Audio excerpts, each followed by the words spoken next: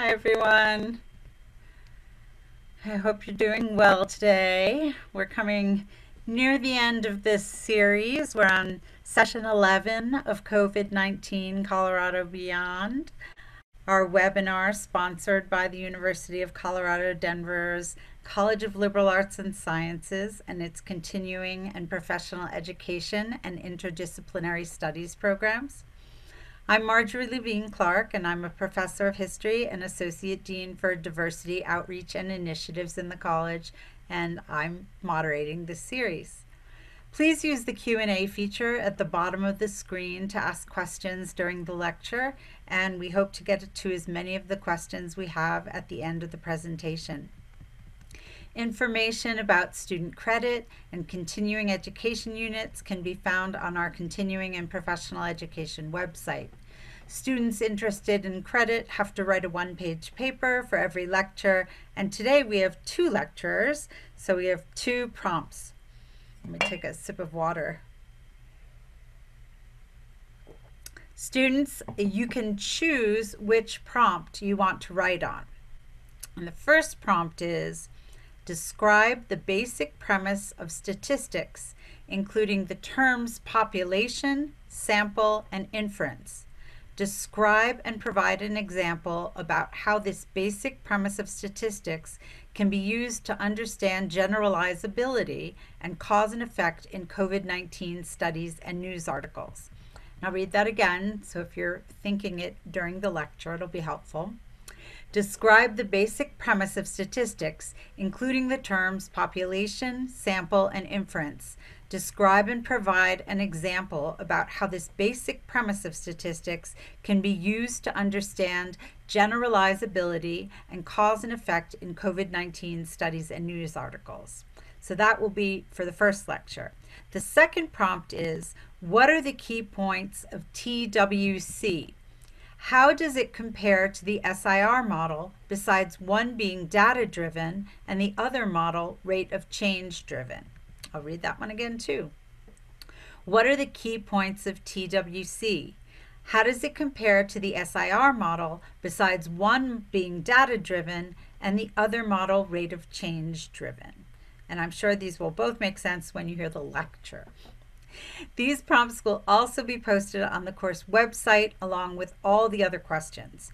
The lectures are also being recorded and will be up on the website and the CLAS YouTube page.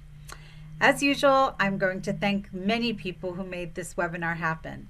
First, Dean Pam Jansma and Assistant Dean Joanne Porter of the College of Liberal Arts and Sciences for supporting this program and making credit available to many of our students at no cost.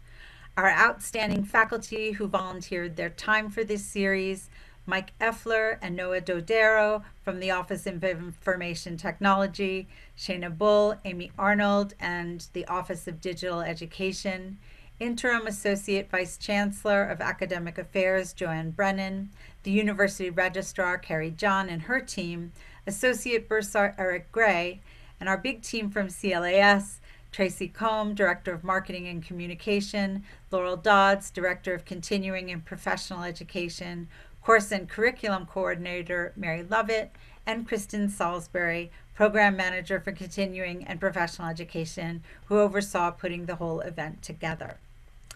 As I mentioned, we have two separate lectures today, each about half an hour. Dr. Audrey Hendricks, our first presenter, is an associate professor of mathematical and statistical sciences. She received her PhD in biostatistics from Boston University. Her interests center around big data in the context of health and disease. She recently has been working on user-friendly software to increase the utility and equity of publicly available genetic data, especially for diverse populations. Professor Hendricks's presentation will be on statistics in the news in the time of COVID-19. Our second presenter is Dr. Weldon Lodwick, who is a professor in the Department of Mathematical and Statistical Sciences. He received his PhD from Oregon State University. He has worked on both intelligent geographic information systems and differential equations applied to dengue fever in Brazil, models of the Ebola outbreak in West Africa, the E. coli outbreak in Germany, as well as protein molecule conformation problems with the Nuclear Magnetic Research Laboratory. The research he is presenting today was done in collaboration with Masoud Asadi Zeydabadi, who is an associate professor on clinical teaching track in the Department of Physics, and Francis Newman, who is an associate professor emeritus in the Department of Radiation Oncology at the University of Colorado Cancer Center. Professor Lodwick will present their mathematical and physics based model that identifies the source and spread of disease in time and space. So let me welcome Professor Audrey Hendricks to start us off.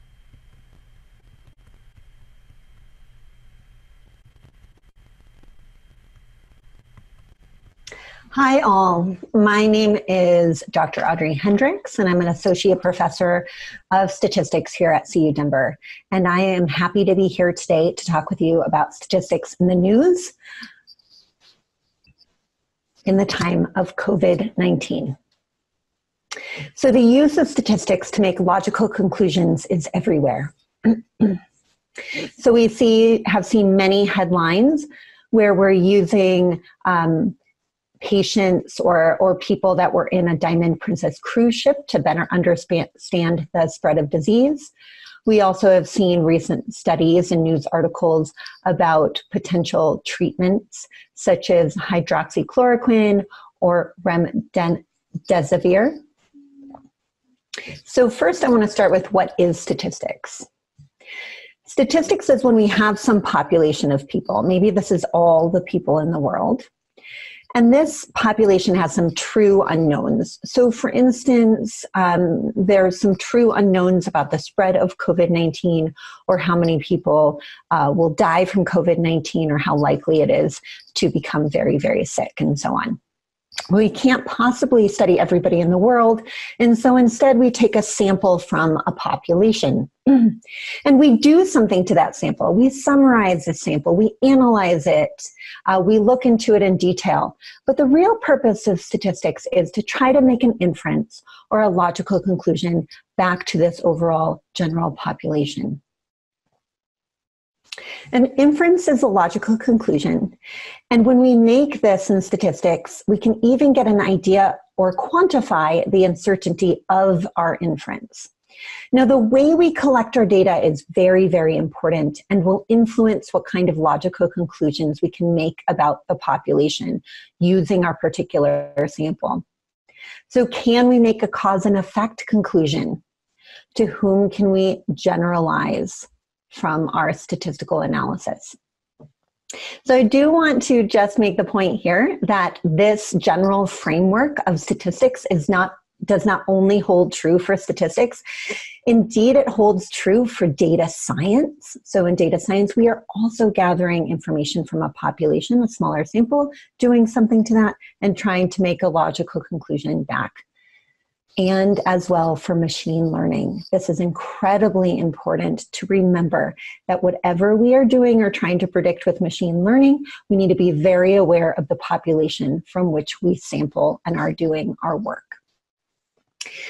So, I'm going to be talking about two major topics for uh, inference today for this logical conclusions, cause and effect, and generalizability.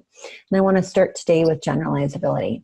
So, generalizability are to whom or what type of conclusions, uh, to whom do they apply? So, we want to apply these logical conclusions. Who can we extend them to from our study? For instance, can we extend them to all people with COVID 19 in the world? Or only people that are hospitalized with COVID 19? How about how does our generalizability from our current study vary by race or ethnicity or socioeconomic status or biological sex or adults and children? To whom can we generalize our results? And so we again see this quite often across the news, again in the Diamond Princess cruise ship. Can we extend the results from that one cruise ship to people not on cruise ships? And I'll talk later when I give more specific examples about this one down here when we're looking at the prevalence and clinical presentation of healthcare workers from Dutch hospitals. So, back to our general framework of statistics, where we have a population, we take a sample, we do some kind of analysis or summary, we make an inference or logical conclusion back to our population. But usually, we don't just want to go back to the population from which we sampled. Quite often, we want to generalize beyond the population from which we sampled. If we sampled just a cruise ship, I'd like to know whether uh, those results apply to people that aren't on a cruise ship, for instance. Now, when we do this, any of the uh, the results that are, we are generalizing beyond the population from which we sampled are now outside the framework of statistics. And so we are going to need other logical evidence. We're going to have to make other assumptions to extend beyond the population from which we sampled to another population. And we should be very very clear about what logic we're using to do this and what assumptions we need and we often want to do this, right? But I want to generalize beyond the population from which I sampled. Again, it's not based on a statistical model, and we should be very clear with our logic or assumptions. And sometimes it's okay to generalize beyond the population from which we sampled. Uh, for instance, there was a study on how best to sharpen skates, and they took a sample of Canadian expert skaters. Well, we could probably generalize the results of that study to amateur skaters as well. That's probably an okay generalizability. Um, in addition, maybe we're looking and we see human to human transmission of COVID 19 in Europe and Asia.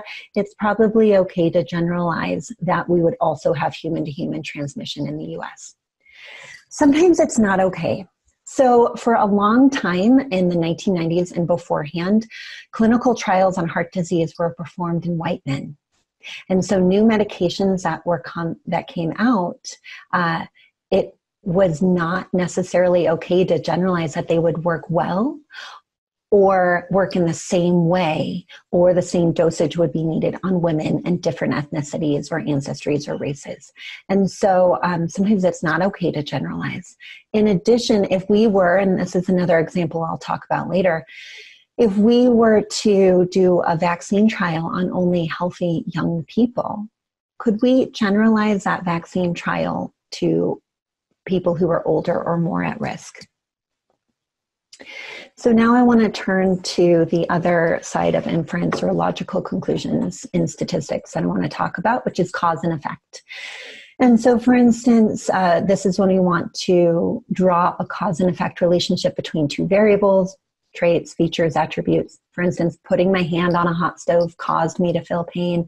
Exposure to COVID 19 caused me to get sick. There's two main types of studies I'm going to talk about today experimental studies and observational studies.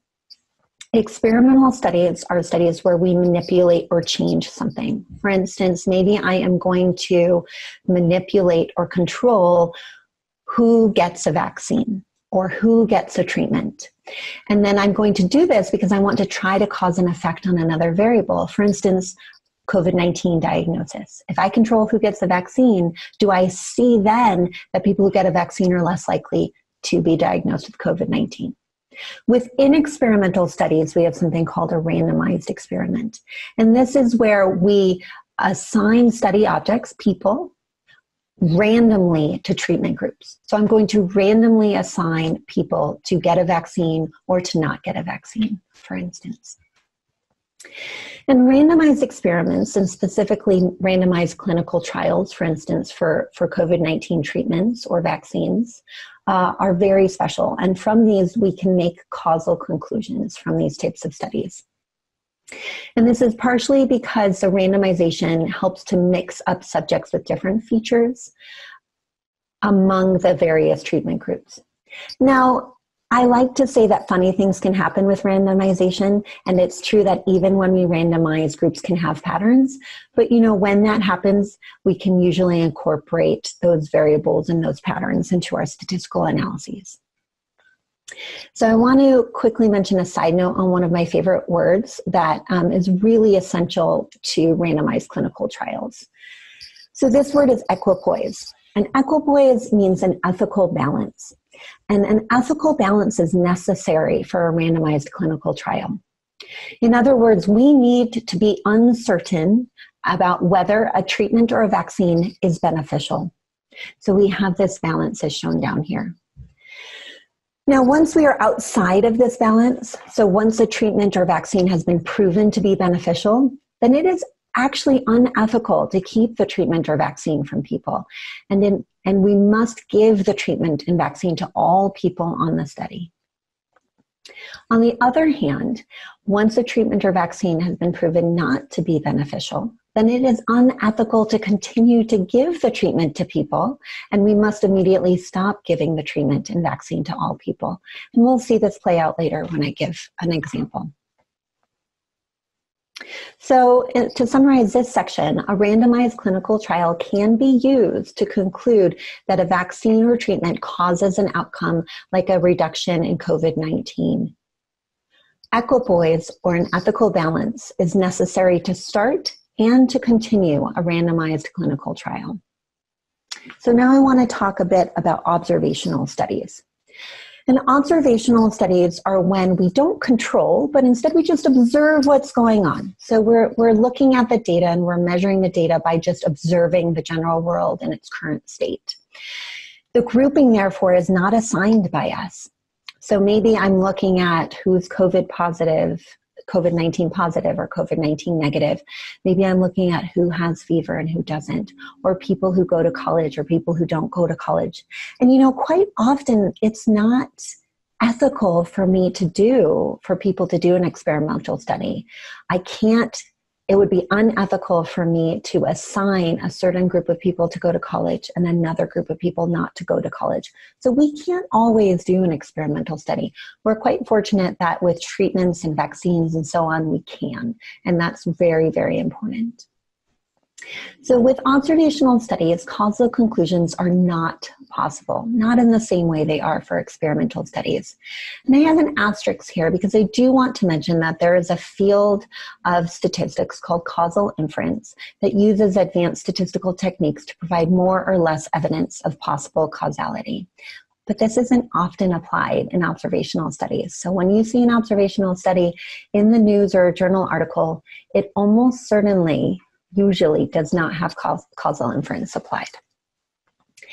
And when we're just looking at an observational study and just doing our typical basic statistical techniques such as correlation, we don't know the direction or even if there is a causal relationship at all. And part of the reason we don't know this is because we could have something called a confounding variable. A confounding variable is related to both of our variables that we're looking for a correlation between, and it can make a relationship appear or disappear. So, an example of this might be if I want to look at the relationship between a person being put on a ventilator and survival. Does a person put on a ventilator have an increased chance of survival? Severity of COVID 19 could be a very clear confounder here because people who have a more severe COVID 19 illness are more likely to be put on a ventilator, and people who have a more severe COVID 19 illness are also less likely to survive. And so, unless I'm very careful about the way I'm looking at my data and my study, I might conclude that people who are put on a ventilator are less likely to survive. That might not be true. It might just be confounded by the severity of COVID 19. Another example might be treatment and survival. So maybe I want to look at um, doctors prescribing hydroxychloroquine. But again, what if doctors are surviving are, are prescribing hydroxychloroquine in a non-random way to their subjects? What if doctors are, survi- are prescribing hydroxychloroquine to subjects they think are more likely to survive? And you know, people do a lot of things without realizing they're doing it, right? And so it could be unconscious bias as well. And so if doctors were either consciously or unconsciously prescribing people to a, med- a certain medication, if they thought those people had a better chance of survival because maybe they don't have enough medication for everyone, and we saw those people surviving more, we might, uh, the severity of COVID 19 would be a very clear confounder. So we have to be very careful about confounders. So here's kind of a silly example that I like to give when I'm talking about correlation is not the same as causation. And so on the x axis here, I have year. And on the left y axis, I have sales in millions of dollars of organic food. And on the right side y axis, I have individuals diagnosed with autism. And we can see that these two curves track very, very closely. And we can see down here that a correlation metric we typically use is very close to one, indicating very high correlation between these two curves. but certainly that doesn't mean that the increase in organic food sales is causing an increase in individuals being diagnosed with autism, right? Autism, very serious. This is a silly example, though. But what about something not so obviously silly? What if we're looking at a graph or a plot that's not obviously not causation? so here I have a very similar plot. I have year on the x-axis. On the left-hand y-axis, I have gas, lead in tons per 1,000 people. And on the right-hand y-axis, I have violent crimes per 100,000 people. And if you look closely, you'll notice that the year for gas lead is about 23 years offset or before the violent crimes year. And that's to adjust for the exposure in childhood and when violent crime peaks is usually when individuals are in their early 20s. And so, if we look at these two curves, we might say, wow, they really overlay each other very closely. It looks like they're highly correlated. Does that mean from this figure, I can conclude that lead and gasoline or high exposure to lead causes an increase in violent crimes? Unfortunately, I cannot, but it's a really important question and important hypothesis. And so, what do we do if we have a situation where um, we we can't do an experimental study? I can't ethically give one group of children high exposure to lead and another group of children low exposure to lead. That would be unethical. But it's a really important question. So, what do we do in that situation? Well, we can combine evidence. So, we can use observational studies in children. Uh, we can use experimental studies in model organisms. So, while it's not ethical for me to perform an experimental study in children, I can por- perform an experimental study in mice where I give one group of mice high lead and another group low lead. I can also look for extremely bad outcomes. I can accumulate lots of evidence over time. And like I mentioned before, there are statistical and experimental methods that can add support to a causal relationship. In economics, one that's commonly used is called a pseudo experimental study. And uh, we also have causal inference analysis, as I mentioned earlier. Again, experimental studies are my gold standard, and those are the ones that I can conclude a causal relationship. So now I want to go into four examples of generalizability and causal inference in the time of COVID. So, sorry, hit the wrong button. Okay, so uh, for example one, who do we want to test for COVID 19?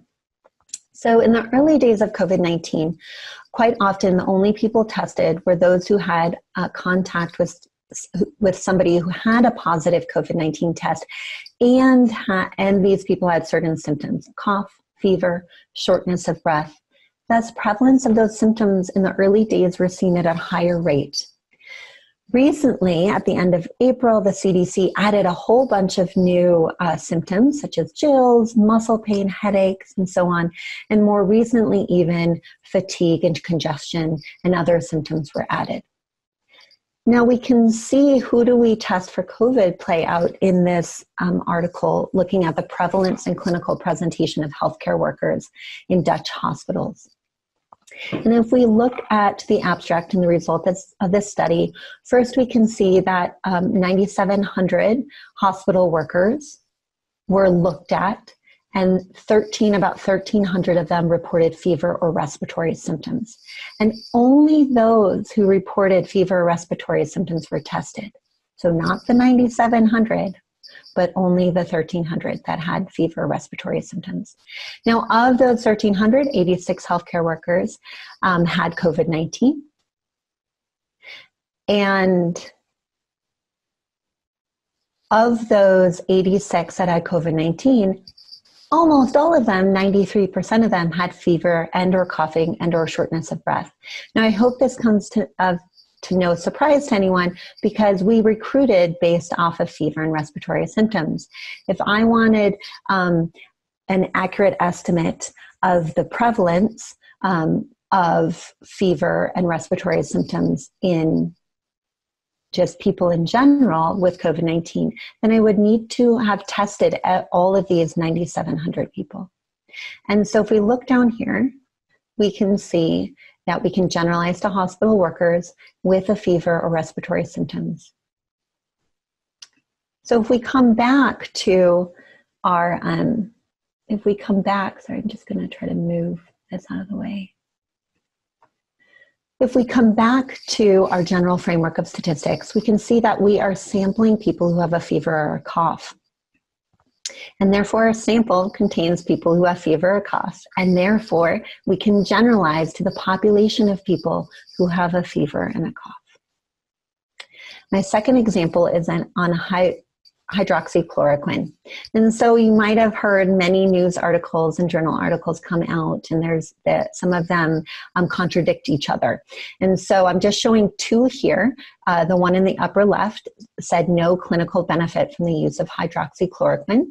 And then these are the same article. Here's the news article that uh, mentions this journal article where it says treatment of with hydroxychloroquine in patients of COVID 19. And then the CNN news article says study finds hydroxychloroquine may have boosted survival, but there are doubts. And if we look a little bit more in depth into these two studies, we can see that this study down here was a retrospective observational study. What that means is that uh, we're looking at the data, it's observational, but we're looking retrospectively back in time. So we look at people who were patients in a hospital, and then we looked at whether they received hydroxychloroquine. And the last sentence of this abstract, I think, is really telling. It says prospective trials are needed to examine this impact. So even these, the authors of this journal article are stating that additional research is needed. Now, up here, uh, this study was a randomized clinical trial, and indeed, they ended the clinical trial early because the they were out of equipoise. They did not find a clinical benefit, and then they decided that it was no longer ethical to continue to give patients hydroxychloroquine. So the third example I want to talk about is remdesivir. I don't know why I have trouble saying that one. Remdesivir as a potential treatment. So this recently came out in the New England Journal of Medicine. And if we look at the methods for this, we can see that the study was done on adults hospitalized with COVID 19, with the primary outcome was time to recovery or time necessary to leave the hospital. And so, if we think about generalizability, we can generalize this to adults hospitalized with COVID 19. Additionally, we can see in the methods that this was a double blind, randomized, placebo controlled trial. Double blind means that neither doctors nor patients know the treatment group that they're assigned to. Randomized means that the subjects were randomly assigned to the treatment group, either remdesivir or placebo. And placebo controlled means that the subjects either receive the medication, remdesivir, or the placebo group. Now, here's a really, I think, informative plot. This is figure two from the paper. On the upper left hand side, we can see the overall group, and we have days on the x axis and then proportion recovered on the y axis. Remdesivir is in blue and placebo is in red. And what we want to see here is we want to see the, the treatment. Um, people with remdesivir are going to recover faster. And what that looks like is the, the blue curve would be above the red curve. That indicates a faster time to recovery. And so we have our overall sample up here. And then the authors broke this down by severities of patients. And we start with less severe up here, and then we go all the way to more severe down here.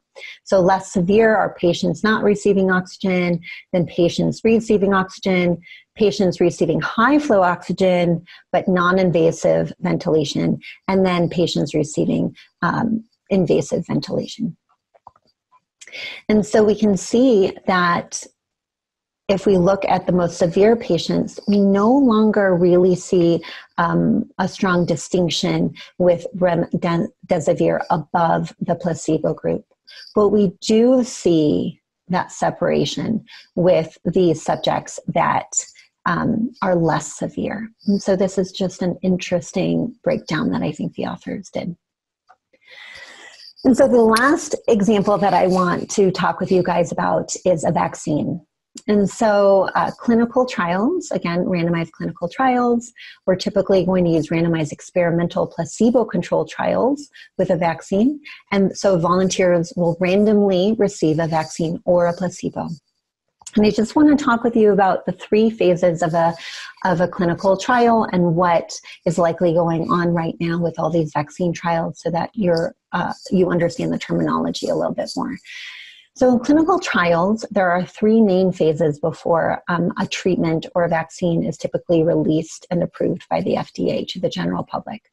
Phase one trials are very small and they assess safety and dosage in healthy volunteers. So, they're answering the questions Is the vaccine safe? Does safety vary at different dosages? Phase two clinical trials are typically more moderately sized, and they are going to start assessing the potential benefit and side effects. Does the vaccine elicit immune system response? Are there any severe side effects? If there is an immune system response and there's no severe side effects, then we go into phase three. Now, phase three is typically what we think of when we're thinking of a large scale randomized clinical trial. And this is where we are assessing, it's very large, and we're assessing the benefit, effectiveness, and again, side effects of the vaccine. COVID 19 vaccine trials will be very large, likely always over around 10,000 volunteers and even more. Now, won't it take forever to conduct a trial on 10,000 people? We want to move quickly, right? I'd like a vaccine yesterday. I don't know about you. Um, and and so people are thinking about are there ways that we can move vaccine trials a little bit faster and sometimes these are called human challenge studies so what about a human challenge trial a human challenge trial is when volunteers for a vaccine trial are injected with a virus so we still randomly assign subjects to either receive the vaccine or receive a placebo, and then everybody in the trial is injected with the virus. Now, the pro is that this is a much, much faster trial than waiting for volunteers to be exposed to COVID 19 on their own. But the con is that there is a non trivial risk of death and comorbidities, for instance, long, lasting lung damage. Now, because of that really big con, it's probably unethical to inject people with a virus, everybody with a virus. And so people have been debating about well, can we do a human challenge trial? And can we do this in only healthy and young adults who are less likely to die and have comorbidities? Now, I want to bring you back to the central framework of statistics. If we are only including young and healthy people in our study, and our sample only has them. And we can only generalize to young and healthy people about whether this vaccine works. But that's not what we want to do, right? We want to generalize this vaccine to everyone. We want to know whether it works on older people and sick people and people at a higher risk. And we're going, if we want to do that, we're going to either have to use other logical evidence or assumptions, or we're going to have to come back into and do another study on older and sick um, and, and people with pre-existing conditions and so on that are at higher risk um, and that's what i anticipate would happen is that if there was and i don't know of any vaccine trials that are human challenge yet if there was a human challenge trial i anticipate um, that it would be done on healthy and young people and that after if the vaccine was shown to be effective there that it would then be done later on um, on everyone. And, and I should say, when I, I don't know of a human challenge trial um, yet, I don't know of a phase three human challenge trial. There are some phase twos. So you may have heard that Moderna is um, starting a vaccine trial and that UC Health at the University of Colorado Hospital is going to enroll patients. So they're recruiting 1,000 patients at University of Colorado Hospital and 30,000 nationwide uh, this vaccine trial will not be a human challenge. So, in summary, I'll end with always ask can you conclude causality? Experimental studies, remember, especially randomized experimental studies, are really useful here. And then ask to whom can I generalize? Stay safe, wear a mask. Thank you very much. That was great, Dr. Hendricks. Thank you so much. Um, we're now going to move on to Dr. Lodwick.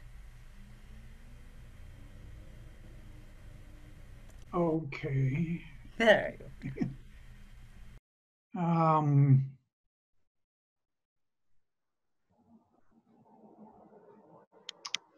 let me, for some reason, I, I need to get my um, um, file back up.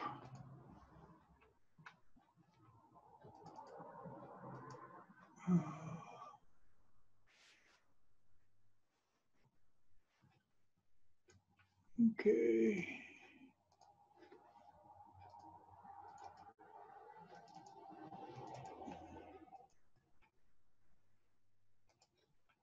Okay.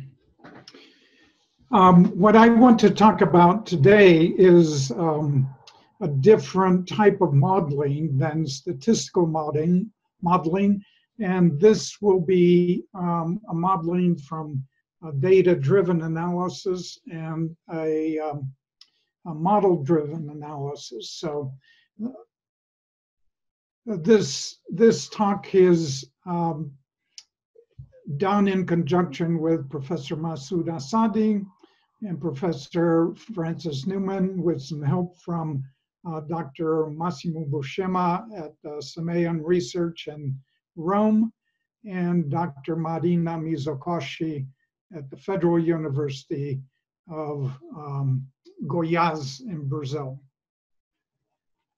What I want to do is to take a look at the um, problem itself, um, state the problem from this, these particular point of views and take a look at two approaches. One is model driven, which is the susceptible infected recovery, which typically is what CDC uses in order to tell you that 14 days of quarantine is what we need.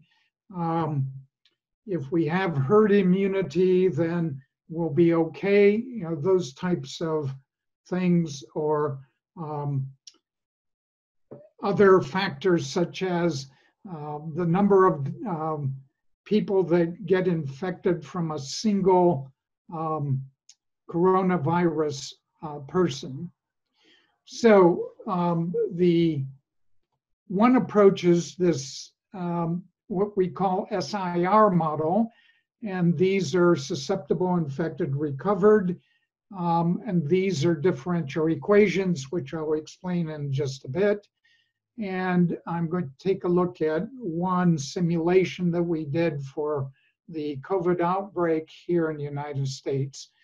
But I want to focus a little bit more on the weighted centroid method, which is a data-driven analysis. And in particular, I want to take a look at the application of this method to the USA and Brazil.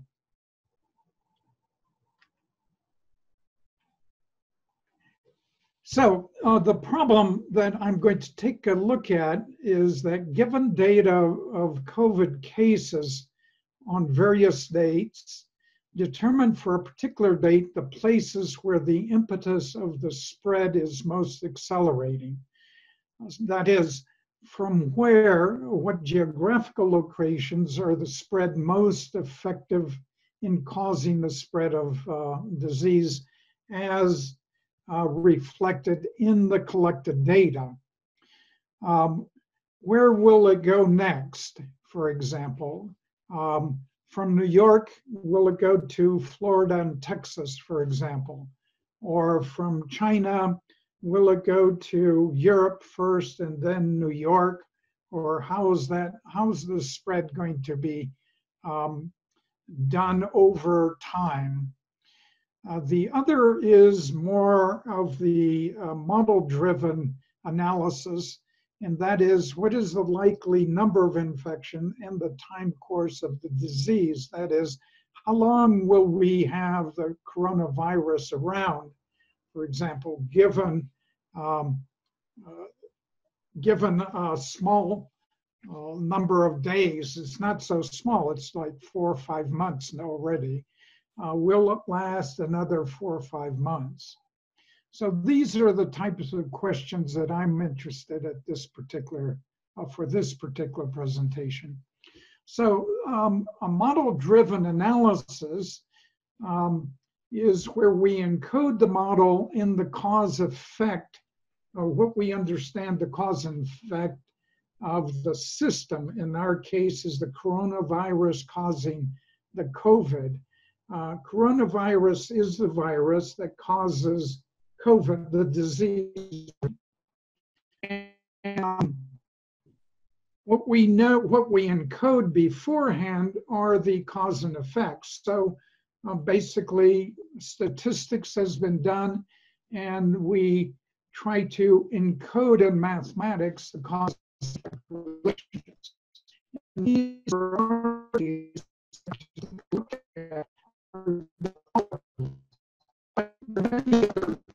relationships uh, in mathematics and in the world uh, one of which is uh, equality, the other is inequality, the other is belonging to.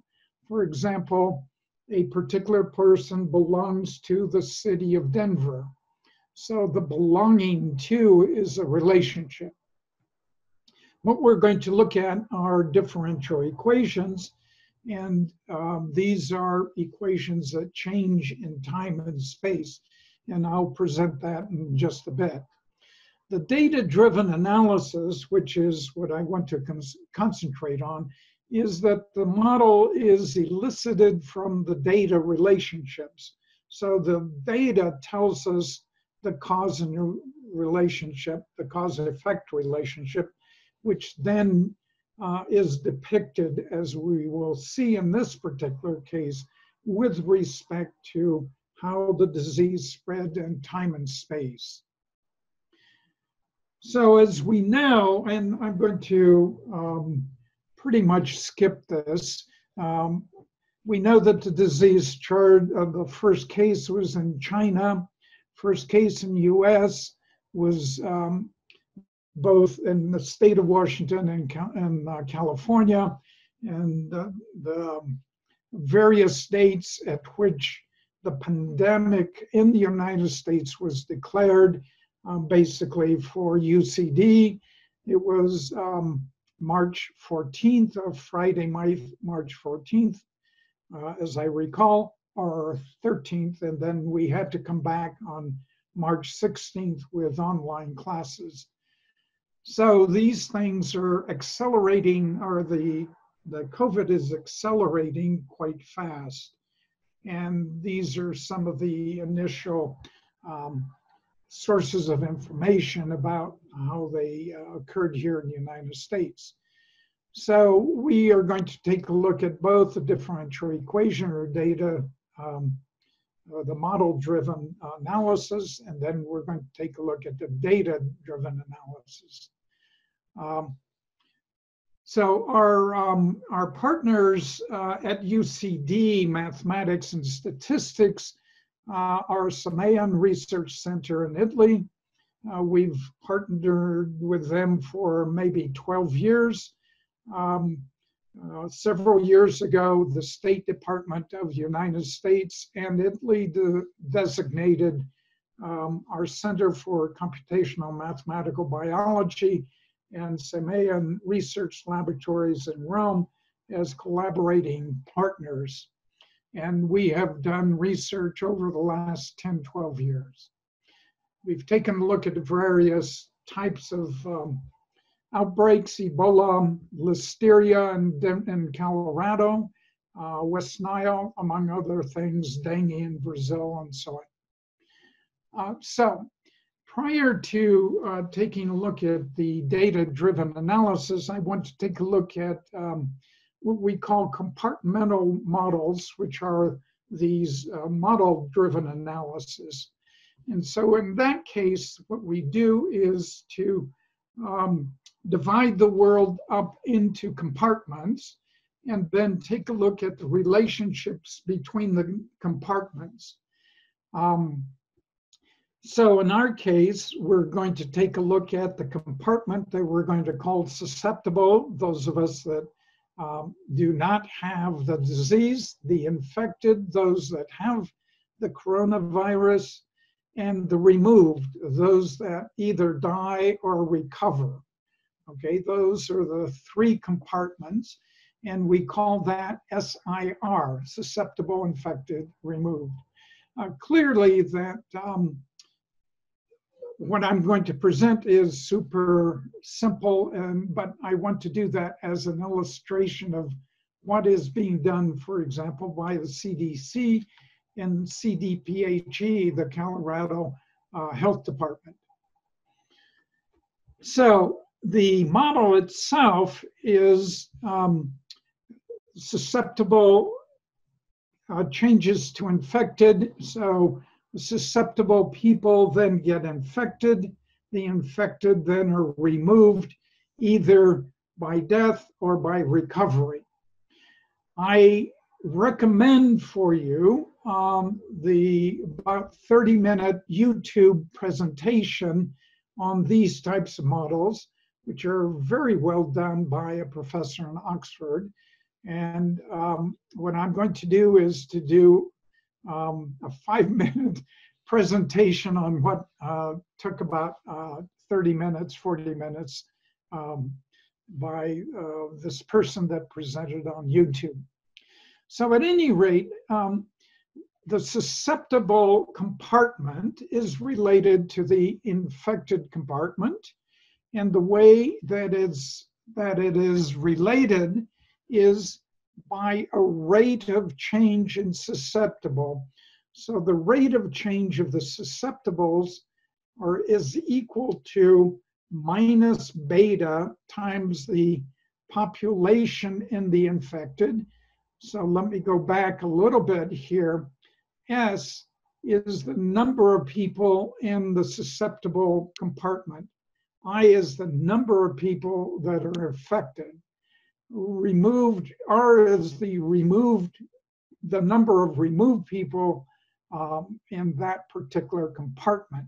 So the rate of change at which the susceptible population changes is uh, proportional to the product of the number of people that are infected with the number of people that are susceptible. So for example, if I go to class uh, at UCD, an in-person class in UCD, that's my population. Within the class, there are perhaps a certain number of us that are infected, um, and a certain number of us that are susceptible. The rate of change at which a susceptible person changes into an infected person and is removed from the susceptible population is hypothesized as being uh, directly proportional to the product. So think of um, predator prey. So if you have a mountain lion and you have deer the number of mountain lion in a particular geographic region and the number of deer, the product of these two, times a kill ratio, how many times will a mountain lion actually succeed in removing or eating a deer? Okay, and that's the minus beta. So the minus is because we're going to change from susceptible um, the, re, uh, the removed is going to be the uh, direct proportion of the number of people that are infected.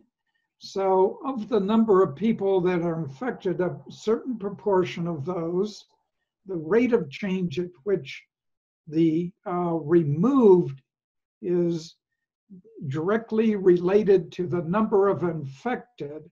So let's say 20% or let's say 5% die and 20% recover from uh, the infected.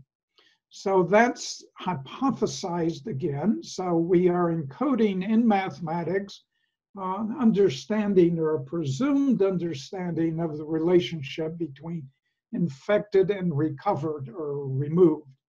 And lastly, the infected is going to be increased by the same proportion that we have. So the rate of change of the infected is going to be the plus of the beta infected times uh, susceptible minus the ones that are removed from the infected to the recovered or those that have died.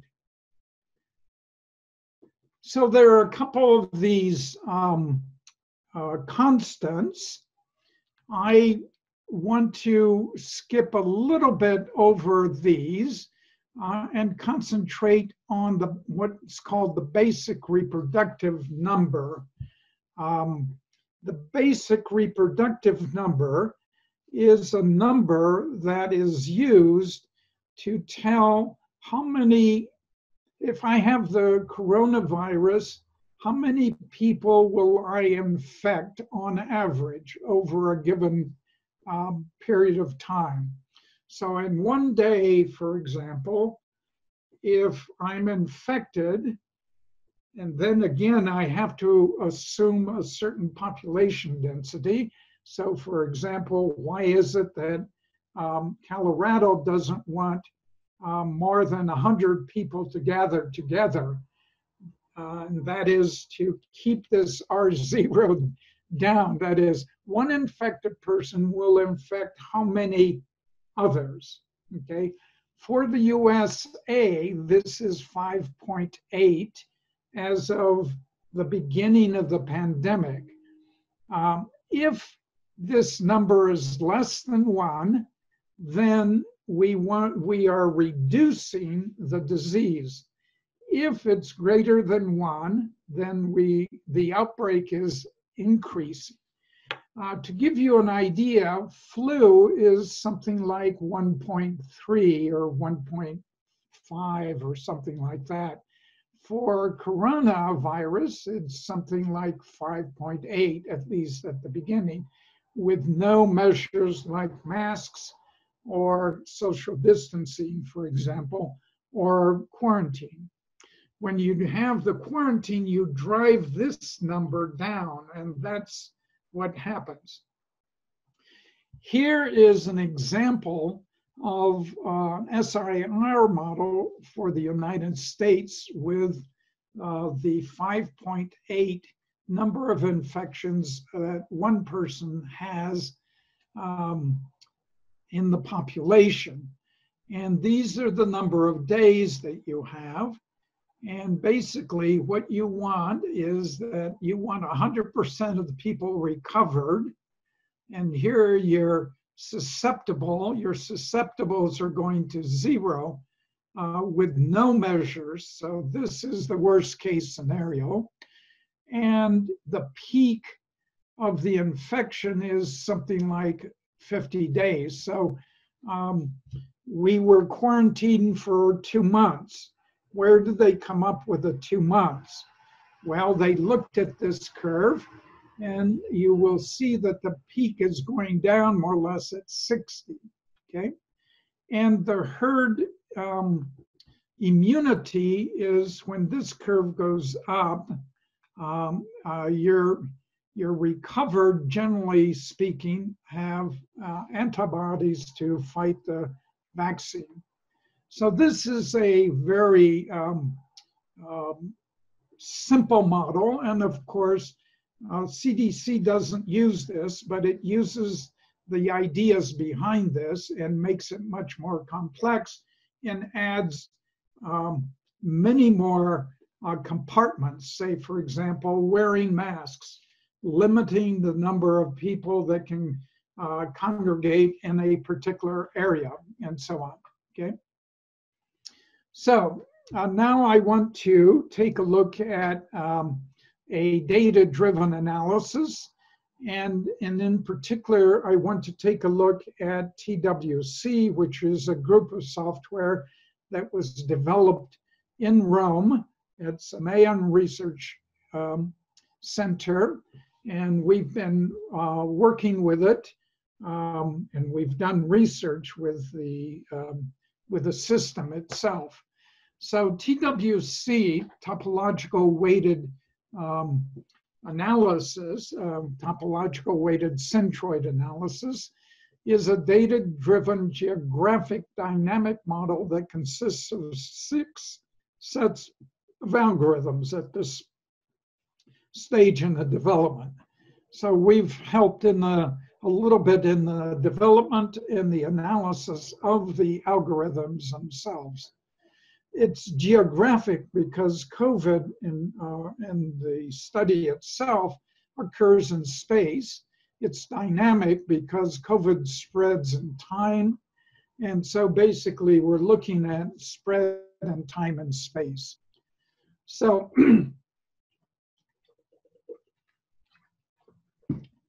the idea behind uh, TWC is best explained by analogy. So um, suppose I have a number of uh, corona terrorists. So I have groups of corona terrorists, and I want to minimize the number of groups, and I want to maximize uh, maximize the uh, spread of the um, virus itself. And I want to, in the following sense, I want to locate myself in a geographical region in such a way that I reproduce the, the collected data. So the collected data that I'm going to take a look at for the United States is in early March, okay? So what I'm going to take a look at are where these coronavirus terrorist cells going to be located to do the damage that is exhibited by the March, early March 2020 in the US. And it will be April, I think it is, excuse me, be April for uh, Brazil. Okay, in other words, um, what I want to do is to, if the cases for March that I'm looking at. So from February to March, I'm looking at cases, and I want the I want the terrorists, the coronavirus terrorists, to locate themselves in such a way that they cause the distribution of the COVID cases in in uh, early March. Okay, so I want to locate them before early March in order for them to do the damage that uh, they're going to do. Okay? Another way of looking at it is that um, if you're a predator, so if you're this mountain lion and you're going to be in a particular uh, area um, and you have deer in that area, where would you locate your den? From where would you operate in such a way that tomorrow, where would you locate your den or uh, today in such a way that tomorrow you have the maximum probability of attaining um, a deer, okay, given the terrain, okay? So the mathematization of that idea is what we call statistical thermodynamics, optimization of free energy, entropy, because we want uh, to um, maximize organization of this uh, analysis. so there are various um, points of view, and then I will, the, the slides will be available to you so that you can take a look at a variety of different ways of explaining the same thing. So Um, let me take a look at the algorithms themselves. Um, and I will focus on three of the 18 different algorithms that we have um, for, um, for the early, in um, United States for the early March analysis. We call these TWC alpha, beta, gamma. So TWC alpha locates the coronavirus terrorists yesterday in order to, or yesterday or a couple weeks before um, yesterday, um, in order to achieve the distribution of the disease today. So if we're looking at early March, where were where would the impetus for the disease coming from?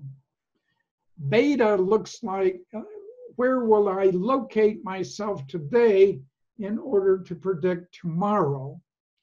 And a gamma looks even farther ahead, okay? And recall that we're going to take a look at early March.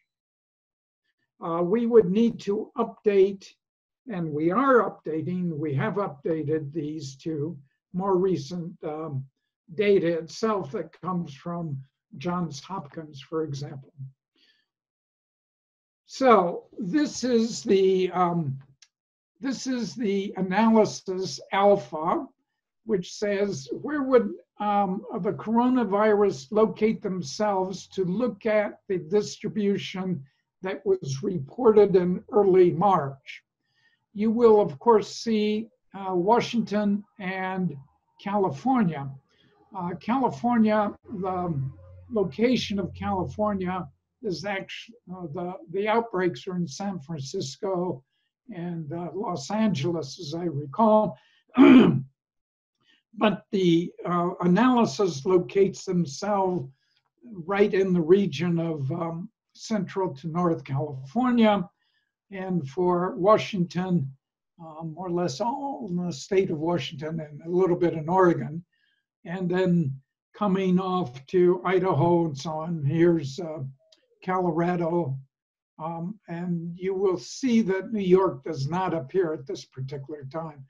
And I think New York began uh, mid to late March. Um, so this is an earlier um, map. So this is the, uh, where would you locate them yourself um, today in order to affect the change tomorrow. And um, tomorrow meaning mid March. So you would locate yourself in California and in this particular region in order to affect the data that you see um, coming out of our collected data itself. Okay. So this is spreading, okay? and you'll see the beginnings of the spread in the East Coast. And of course, nothing in uh, Florida or Texas or um, Arizona, okay? Because this, the, the analysis or the data for Texas and, um, and even um, uh, Georgia, Georgia, Texas, the Southeast hadn't begun already hadn't begun yet. Okay? Professor and, Lodwick, we have about 10 minutes left and we'd like to leave some time for questions, okay? Okay. So um, this would be uh, what's going to happen uh, in the future, okay? And let me just take a look very quickly at Brazil. Um, these are the cases reported in Brazil the frequency of the cases in Brazil. And um, this is the um, actual data from Brazil. And this is uh, March 17. And this is where you would locate yourself in order to look at that particular distribution that you have. So the impetus of the disease is actually um, more or less in the center of the country.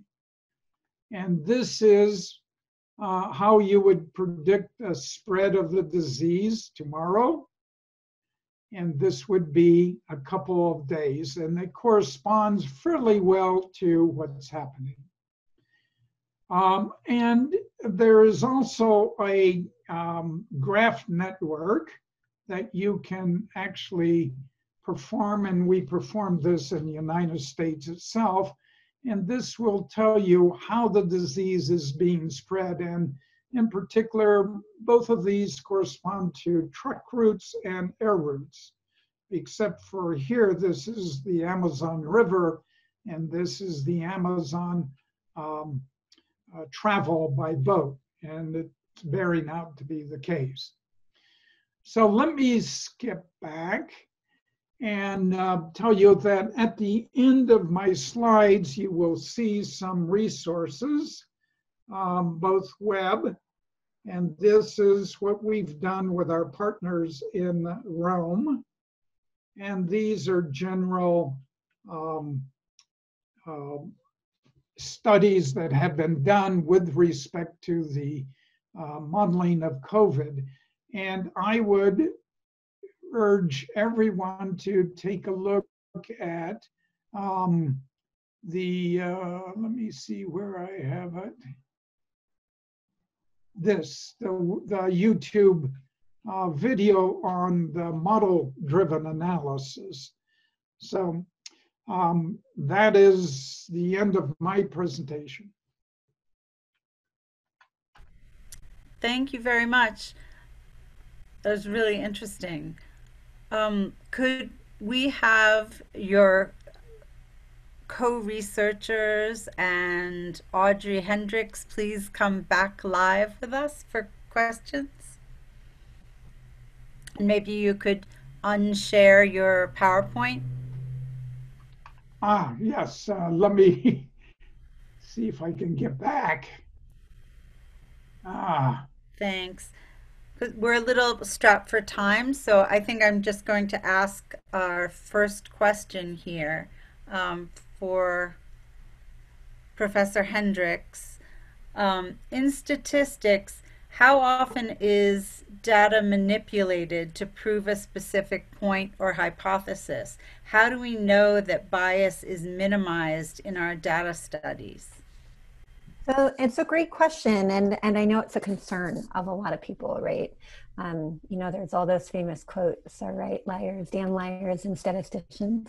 Um, I would say that from my experience, quite often it's um, not a blatant people trying to miss and actually do things they shouldn't with statistics.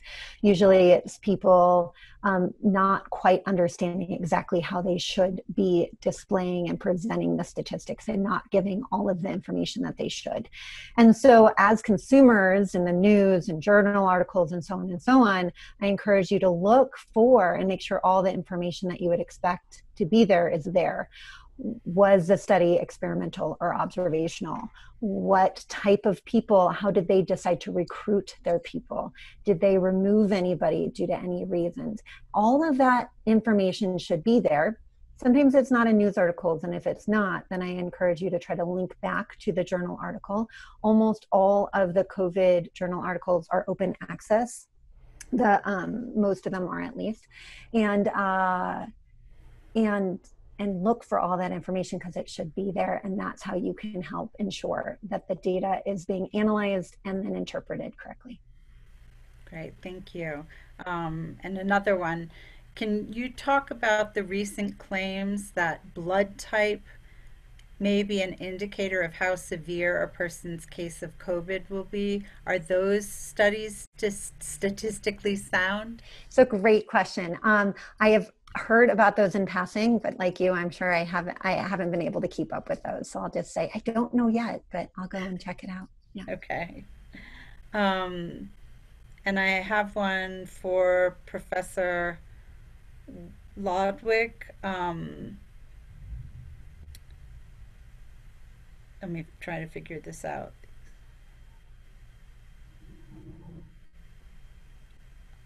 Does the TWC model provide insights into upcoming hotspots worldwide? Um, yes, if we, if uh, we haven't done a worldwide model itself, we've just focused on various regions. But um, yes, um, for hot, uh, coming up hotspots in the United States or Brazil, uh, uh, this has been taken a look at uh, in Italy, actually. So our colleagues in Italy have applied it to Italy and then where the emerging emerging hotspots are going to be. And perhaps uh, Professor uh, Masoud uh, Asadi might jump in here too. Basically, we use a model, we call this one modified version of TWC. We call this one TWC windowing. That means we are going to almost like look at different, mm-hmm. use the TWC first in different region. Let's say that, but it's more than that. But you might, we could maybe expand that one over the world and then put those, and then we could overlap all of those together. Okay, so that works. Yes. So TWC been doing much work for this one, yes. Yeah. To answer the question, we have not done it for the world. We've just done it for Iran, for Italy, for United States, Brazil, and now we're taking a look at Chile. Right. So there's no way to kind of see yet where, from your model, like where things are going to happen. Oh, yes, we could do that. Uh, we haven't done it. We haven't done it from uh, assuming that we have world information, which in a lot of cases we do.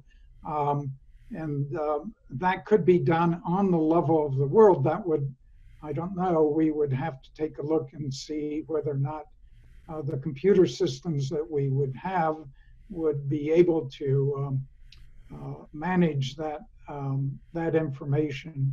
Right. Okay, great. Thank you. And, and a final question for Dr. Hendricks. Um, can stats help us figure out why the age of people with COVID has been changing over the months? Oh, sure, absolutely. Great question. So, um, you know, one of the reasons that we see people um, being infected at lower ages is because we're actually looking at them now. We're actually testing in that group. So before we were only testing in people um, who were exposed to the disease, and I should have added probably at high risk. And so quite often we would um, say, well, we know you have a cough and a fever, but you're not of high risk. We're not going to test you. Whereas if it was an outbreak in a um, assistant living community with elderly or people at high risk, we were testing at a much higher frequency. And so that's where we were seeing COVID quite a lot. Um, now we are seeing COVID much more often in um, people who are younger and including in children. Now we don't yet know what the prevalence and how often um, COVID is transmitted um, in children and in, in younger groups, but we are seeing an increase in part because we're testing there more and then there's other theories too right that that maybe um, people who are younger are are not as socially distant as you know people who are older so there's multiple things going on mm-hmm. Oh, that's really interesting. Well, now I have I have a final question for both of you. I know we're going to run over, um, but uh, somebody's dog is is answering the question. No. Um, where do both presenters view the intersection of the two disciplines? Um, e.g., address bias in model formulation with statistical approaches, um, uncertainty quantification, or how best can statistical inference inform and improve the development of models? So I think there's probably less of a distinction between. I'll, I'll be interested to hear what Weldon has to say, mm-hmm. but I think uh, there's huge overlap in statistics and mathematics, right? Um, if we are sampling from a population and doing math and making an inference back to a larger population, then we're using a lot of the statistics principles. But under the hood of every good statistics analysis is a lot of mathematics. And so, you know, they, they overlap quite a bit. Um, I, I, think I only answered part of your question, but maybe I'll let Weldon chime in too. Uh, well, uh, there are, are several cases or several places where statistics comes in. First of all, is in estimating the uh, parameters of the differential equation model that is purely a statistical process. Um, the other place comes in in TWC since it's uh, statistical thermodynamic systems that uh, undergirds the, um, the, res- um, the way I take a look at it is that um, TWC is an architecture. Um, it's it's a framework, and then the the, the data uh, then generates the model itself um, without assumptions. The only assumption that is used in it is that um, how do you how do you receive the data? So there's a structure in which you receive the data. And um, when we use statistical thermodynamics for the underlying theory of, um, of, of, the spread and uh, location of the spread, then uh, we do use uh, statistical uh, thermodynamics in particular. All right. Well, thank you both and your your team as well for for coming today and participating in this lecture series. We have our final uh, lecture on next Monday. Will be Dr. Jennifer Reich talking about vaccines um, and anti-vaccine people as well. So it's uh, going to be a good way to wrap up this series. Thank you again, and we'll see you next week.